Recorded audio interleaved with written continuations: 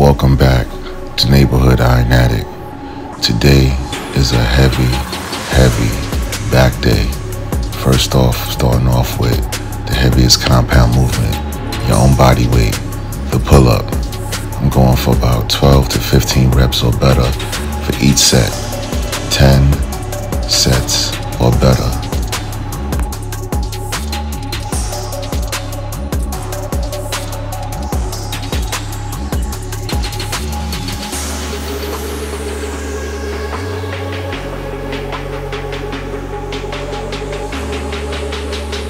Today I'll be using Mad Grips pronated style for this pull down. Going for 10 to 12 reps for each set. Make sure you focus on your form and don't cheat.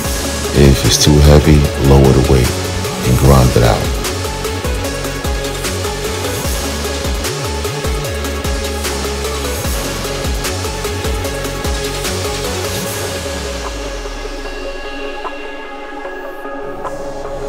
The same rules apply. I'm using a neutral grip, medium style. Same thing. Focus on the form and grind it out. Don't cheat the rep.